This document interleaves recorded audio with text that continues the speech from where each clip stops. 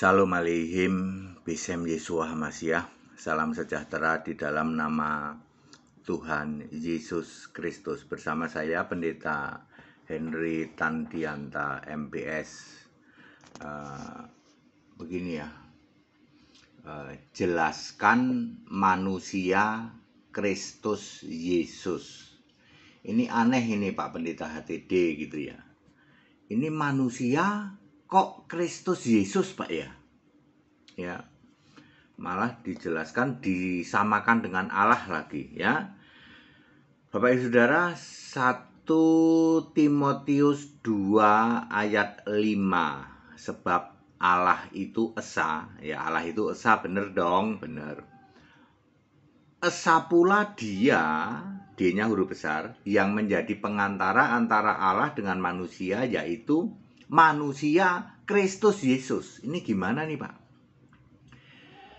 Allah itu esa. Oh bener Pak, bukan Tritunggal ya. Bukan, jadi tidak ada ya ayat Alkitab yang mengatakan Allah itu Tritunggal. Nggak ada. Waduh, Tritunggal maha sesat Pak ya. Udah dari dulu. Tritunggal itu maha sesat. Gitu. Allah itu esa bukan Tritunggal. Esa pula manusia Kristus Yesus. Jadi tidak ada ya Tritunggal tapi Esa tidak ada ya. Tidak ada, Pak. Jadi yang mengklaim Tritunggal tapi Esa versinya Esra Alfred Soru versinya Niko Nyotora Harjo, versinya Stephen Tong, ya, Tritunggal tapi Esa versinya Gilbert Lumoindong, versinya Joshua Tewuh itu artinya apa? Itu ngarang bebas ya. Tidak ada di Alkitab Tritunggal tapi Esa. Tidak ada di Alkitab. Apalagi versinya Romo Daniel Biantoro Romo Bambang Nurseno Tritunggal Maha Esa. Tidak pernah ada yang ada Tritunggal Maha Sesat. Ya. Tidak ada itu Tritunggal Maha Esa. Ya. Ya Allah itu Esa bukan Tritunggal ya. Ya Esa pula dia yang menjadi pengantara antara Allah dengan manusia yaitu manusia Kristus Yesus. Nah, mari tolong Pak Pendeta HTD jelaskan maksudnya manusia Kristus Yesus. Oke, okay. ya. Kristus artinya apa? Roh, ya. Kristus Yesus itu roh. Kisah 2 ayat 36, Yesus yang kamu salibkan itu dibangkitkan menjadi Tuhan dan Kristus. Tuhan itu roh, Kristus itu roh. 2 eh, Korintus 3 ayat 17 Tuhan adalah roh. Eh, Roma Roma 8 ayat 9 roh Kristus. Jadi Tuhan ya maupun Kristus adalah roh, R-nya huruf besar, roh Allah adalah Allah ya. Eh, berapa tadi kisah 2 ayat 36 Yesus yang kamu salibkan itu bangkit menjadi Tuhan dan Kristus. Lah ini bagaimana Pak? Manusia Kristus Yesus. Kan Kristus itu roh Pak. Betul. E, Tuhan itu roh. Betul. Lah ini kok ada manusia Kristus Yesus. Udah gitu disamakan dengan Allah lagi Pak. Allah itu Esa. Allah itu Esa, kalau saya singkat ini ya, 1 Timotius 2 ayat 5. Allah itu Esa, Esa pula Kristus Yesus. Kan begitu, ya? Kristus Yesus, manusia Kristus Yesus. Allah itu Esa, Esa pula manusia Kristus Yesus.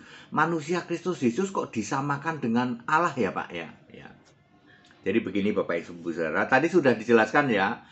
Uh, Kristus itu roh, ya uh, Tuhan itu roh. Allah juga roh pastilah. Uh, Yohanes 4 ayat 24. Bagaimana menjelaskan manusia Kristus Yesus kok disamakan dengan Allah yang esa? Uh, ketika bangkit Yesus menjadi Kristus dan Tuhan. Lalu kok masih jadi manusia itu kapan Pak? Nah ini gampang jawabannya. Pada waktu menampakkan diri pada waktu menampakkan diri itu selama 40 hari itu ya Yesus manusia iya masih bisa dipegang toh masih makan nasi goreng toh eh nasi goreng masih makan ikan goreng bukan nasi goreng ya. Terus masih makan roti bakar juga ya toh bisa dipegang bisa khotbah juga ya toh. Ya itu manusia dong kan bisa dipegang betul. Tapi juga Allah juga Kristus juga Tuhan ya dia bisa nembus dinding dindingnya kubur. Ya Yesus bangkit itu jangan salah ya. Tidak kok pintunya dibuka lalu Yesusnya keluar nongol hello aku bangkit ya. Enggak enggak kayak gitu. Para pendeta para romo kalian sekolah berapa? 12 tahun. Jangan ngajarin ke jemaat pintu kubur dibuka Yesusnya nongol hello romo aku bangkit ya. Enggak kayak gitu Yesus sudah bangkit baru pintu dibuka udah kosong tuh Ye kuburnya kosong nggak ada Yesus kapan Yesus bangkitnya? Ya sebelum pintunya dibuka pintu batunya itu. Ya Yesus nembus dinding dong betul nembus dinding kubur yang batu itu dinding batu itu tembus. Nanti didemonstrasikan lagi ketika Yesus ketemu murid-murid. Semua pintu dikunci kan murid-murid takut nih. Waduh Yesus bangkit, Yesus bangkit. Lalu Yesus tiba-tiba twing masuk ke dalam uh, murid-murid bapak pin uh, kamarnya murid-murid itu padahal pintunya terkunci terkunci nembus dinding dong betul. Berarti sudah roh betul. Ya jadi manusia Kristus Yesus yang esa bahkan di ayat ini disamakan dengan Allah itu esa. Maka esa pula manusia Kristus Yesus. Itu loh saat menampakkan diri 40 hari. Pak Pendeta HTD yang kayak gini kok nggak pernah dijelaskan oleh pendeta-pendeta Tritunggal ya. Ya oleh Romo, Daniel Biantoro, oleh apa Bambang Nurseno, oleh Erastus Sabdono, oleh Stephen Tong, oleh Alfred Esra Soru, oleh Gilbert Lumoindong, oleh Yosua Tewu. Kenapa pendeta-pendeta Tritunggal Maha Sesat ini tidak bisa menjelaskan seperti ini Pak Pendeta HTD. Manusia Kristus Yesus yang adalah Esa sama dengan Allah yang Esa. Kenapa pendeta-pendeta romo-romo itu kok cuma ngandelin jenggot? Ya, jenggot doang gitu, demi nama Bapak. Kenapa Pak? Dia nggak bisa jelasin kayak gini Pak. Ya Jangankan jelasin kayak gini. Awong ditanya Allahmu siapa aja nggak bisa jawab. Daniel Biantoro ya toh eh, Bambang Nurseno ditanya Allahmu siapa?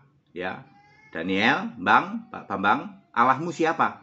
Muter-muter dia satu harian, muter-muter gitu. Allah kami itu uh, Tritunggal Maha Esa, Pak. Maha Sesat iya, bukan Maha Esa. Beda dengan HTD ditanya. Pak Henry Tandianta, Allahmu siapa? Yesus Kristus satu-satunya Allah. Langsung jawab. Satu detik langsung dijawab. Coba Bapak Ibu tanya ke Bambang Bambang Nurseno, tanya ke Daniel Biantoro, tanya ke Romo Deso, Romo Rambut Bundet, ya, tanya ke channel-channel Katolik, tanya ke uh, Stephen Tong, ke Alfred Esra Soru, ke Joshua Tewu, ke Gilbert Lumoindong, ya ke siapa lagi? Ke Erastus Sabdono. Tanya Allahmu siapa, Pak? Jawabannya muter-muter seharian. Beda dengan Henry Tandianta dan semua hamba-hamba Tuhan dari gereja Alkitab Allah Asa. Siapa Allahmu Pak Atidi? Yesus Kristus. Tok. Satu-satunya Allah. Lah boro-boro mereka itu disuruh menjelaskan manusia Kristus Yesus. Hambok ya sampai nungging satu bulan nggak akan bisa baru tahu Pak manusia itu waktu menampakkan diri betul Pak masih manusia masih makan nasi goreng kok nasi goreng lagi. Ikan goreng ya. Masih makan roti bakar. Masih uh, di yang jalan ke Emmaus itu masih makan juga di situ. Kemudian bisa nembus dinding. Loh ya. Manusia Kristus Yesus. Esa itu Pak. Esa. Allah itu esa, esa pula manusia Kristus Yesus. Sudah roh dia. Sudah Tuhan, sudah. Menampakkan diri tujuannya untuk membuktikan dia hidup kisah 1 ayat 3. Jadi Yesus menampakkan diri itu bukan untuk balas dendam. Ya. kalau yang jadi Yesus itu para pendeta-pendeta Tritunggal Maha Sesat, ya, dia bangkit balas dendam pasti Pilatus dicekek tuh lehernya. Kamu kan yang mengizinkan aku disalib. Orang Farisi dikejar-kejar sama para pendeta, andekan para pendeta dan para romo itu yang jadi Yesus. Dia balas dendam nyekekin itu orang ahli Taurat gitu bagusnya yang jadi Yesus adalah Yesus Kristus. Jadi dia menampakkan diri tujuannya untuk apa? Membuktikan dia hidup. Baca itu kisah 1 ayat 3. Pada ngerti nggak pikiranmu dibuka nggak pikirannya? Para romo, para pendeta, karatan, lumutan, ya, Tritunggal, maha sesat. Ya, boro-boro suruh jelasin manusia Kristus Yesus Ambok sampai nungging nggak akan bisa, ya toh. Esra Soru suruh jelasin manusia Kristus Yesus sampai nungging-nungging nggak akan bisa, bakar menyan pun nggak akan bisa. And the gang termasuk Stephen Tong, ya toh. Joshua Tewu Gilbert termasuk Niko Nyotor Harso suruh jelasin bagaimana manusia Kristus Yesus kok bisa sama dengan Allah yang esa ya sambil baca mantra doa Bapak kami, Bapak tolong jelasin, Bapak, engkau kan Allah yang benar, Allah yang besar. Bapak, Bapak biar kamu baca mantra, Yosua Tewu, Gilbert, Niko Nyotor Harjo nggak akan bisa jelasin kenapa Allah yang esa, esa pula manusia Kristus Yesus. Nggak akan bisa.